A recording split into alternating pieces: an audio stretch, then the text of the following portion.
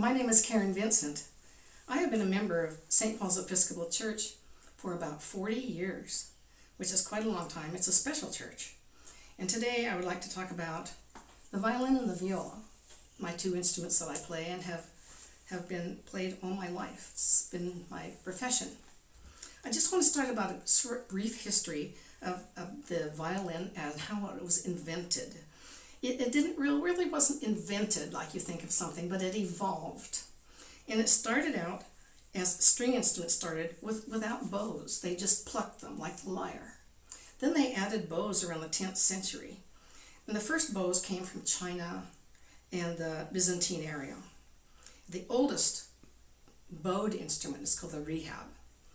And it arrived in Europe through Spain, and it was called vihuela in Spanish and viola in Italian. The next evolution came when they went to the viola da gamba.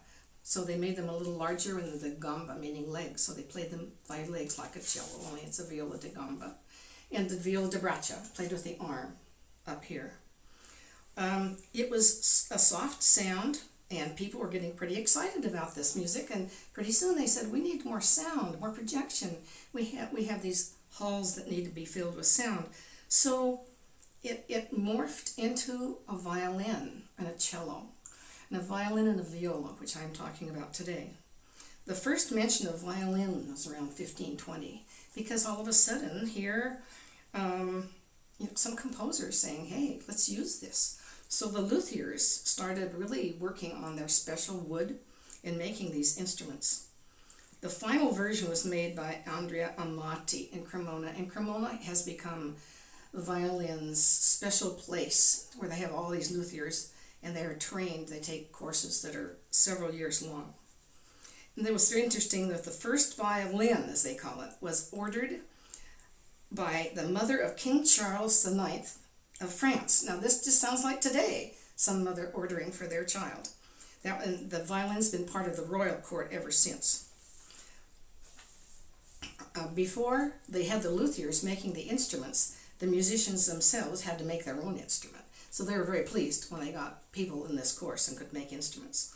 In the 17th century, violins became so essential because many, many orchestras sprung up. And Monteverdi and Lully used them in compositions. And so here, what came first, the chicken or the egg? Was it the violin had to get better and then the, comp the composers saw it and so they composed for it? Or did the composers compose for something better and so the violin became better? So which was which? By the end of the 18th century, the violin shape changed after the Baroque era, which was like 1600 to 1750. And more music was written, larger halls were there, they wanted more sound, more strength, more intensity, and so the luthiers modified the necks and the bridge, instead of being, being so flat, they made it rounder. And they, they took designs from Amati and Stradivarius, modified them, and that became the modern violin, and it has been stable ever since then, which was the end of the 18th century. Today we have added electric violins, so that's, that's the new one on that. Now today, as we play Baroque music, um, it's, it's a recreation it's a recreation and a reconstruction because we don't know exactly what it's like. So the, but the real difference is in how they're played. The modern is more forceful and declamatory and the baroque has a gentler tone. For my PBO audition I had to play that was the Portland Baroque Orchestra I had to play things in certain ways like walking down the street or having a fab fabulous day or being very sad. And so it uses many more moods than, than the modern one does. Modern is more flashy. Um, I would like to show you the difference between the size of the instruments. This is my modern violin. This is my modern viola. You can see the difference in size and it's thicker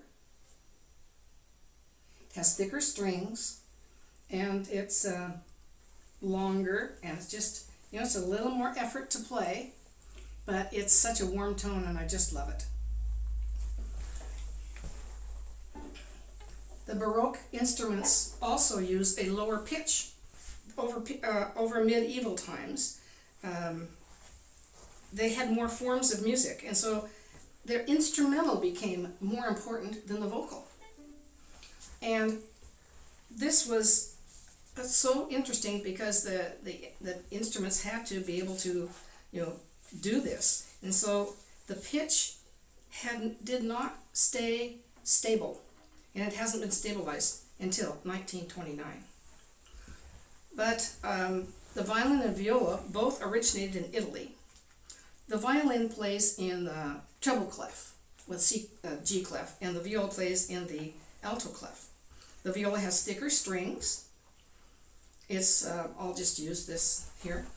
It has thicker strings. It's wider and deeper and heavier, heavier bow, more mellow sound. And people call it, sometimes they go by color. Like, what is this music, what color does this music sound to you? And most everybody says purple, which is interesting because the word viola came from the violet, which, which is purple. And um, also have other names. They call it the alto, the tenor, the braccia, and the middle fiddle. And, and the violin has another name called fiddle. But what's the difference between a violin and a fiddle? That, that question comes up all over the place. They're the, they look the same, absolutely the same. But a violin is more uh, uh, for, it, say, serious, quote-unquote, music, and the fiddle is for your country music and your dances and uh, it, the, and it's interesting that a violin, the word is a noun, and fiddle, the word is a verb and a noun. Um, I would like to play you a little few measures showing you the difference between how you how I would play a phrase in a modern style and how I would play a phrase in the Baroque style. So I think I'll start with the modern first. So this is just the opening of the famous double concerto in D minor for two violins and strings. So this would be the this would be the modern way to play it, which would be more more forceful. This is my modern viola.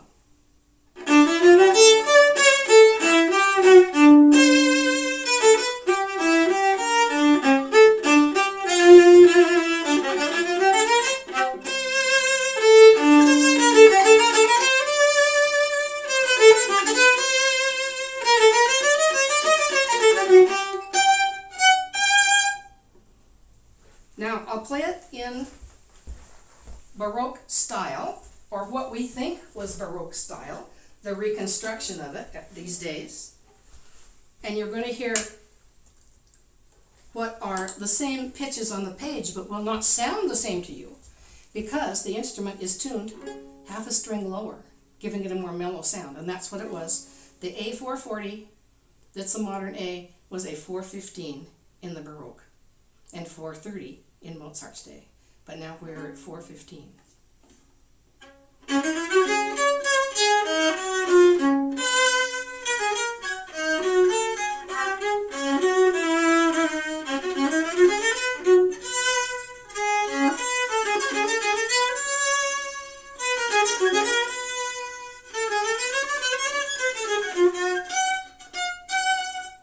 Huge difference to you, but if when you get a whole orchestra together playing like that, you will hear the difference in that sound. And um, thank you for listening today. And any questions, just give me a call.